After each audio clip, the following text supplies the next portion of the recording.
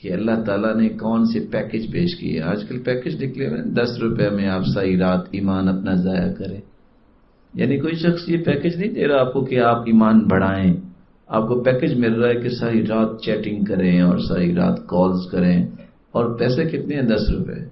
और सस्ते लोग फिर क्या करते हैं? ये तो हमें अवेल करना चाहिए। शरीयत ने कितने प्यारे पैकेज निकाले हैं। ये जितने मर्ज़ी दस रुपए, शरीयत कहती है दस रुपए भी नहीं, कुछ भी ना दो, हमारे पास भी पैकेज है। रोज़ाना का पैकेज, हफ्तावार पैकेज, सालाना पैकेज। रिवायत एक है, मन कमा अमरहुल्लाह जो शख्स खूबसूरत वज़ू करता है, जैसे अल्लाह ने हुक्म दिया फसलातुल मकतूबा इला सलातिल लती बअदहा कफारतुन लिमा बैनहा एक नमाज़ से दूसरी नमाज़ के दरमियान जितने गुनाह हुए हैं उसने खूबसूरत वज़ू कर लिया है और नमाज़ पढ़ ली है तो पिछला सारे का सारा खाता साफ़ हो गया गुनाह माफ़ फसलवातुल खम्स कफारतुल लिमा बैनहुन अगर पाँच नमाजें पढ़ी हैं उसने इसी अंदाज से चौबीस घंटों में जो भी गुनाह थे, वो सब के सब माफ़ हो गए। फल जुमातु इलल जुमा। और दूसरी रिवायत में आता है, एक जुमे से दूसरे जुमे तक, जब इंसान वज़ू करता है, सुम्मा अतल जुमा, फिर जुमा पढ़ने आता है, और अनसत, गौर से सुनता है, खामोशी से सुनता है उधर जुमा मुकम्मल होता है, दो इनाम मिलते हैं। वो फिर बैन जुमातैन एक जुमे से दूसरे जुमे तक जो गुनाह हो चुके होते हैं, अल्लाह माफ़ कर देते हैं।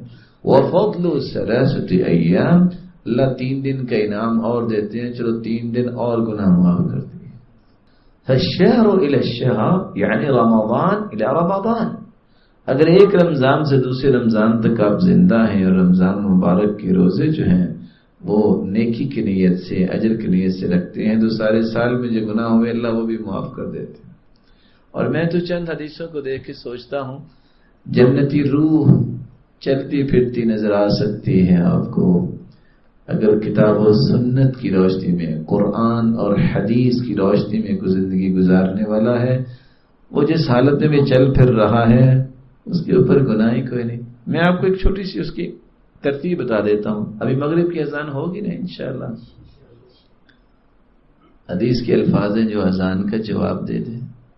और ये लफ्ज सिर्फ़ बोल दे, रदीतु रब्बा व बिल इस्लामी दीना व बि मुहम्मदिन नबिया।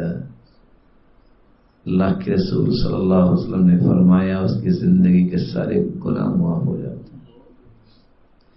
बल्कि दूसरी रिवायत में आता है मेरे सिहाबा, मैं इस अनज़ीम मैं इस बात का जामिन हूँ, मैं अपने हाथ से उसका हाथ पकड़ के जन्नत लेके जाऊँ शय पीछे बची।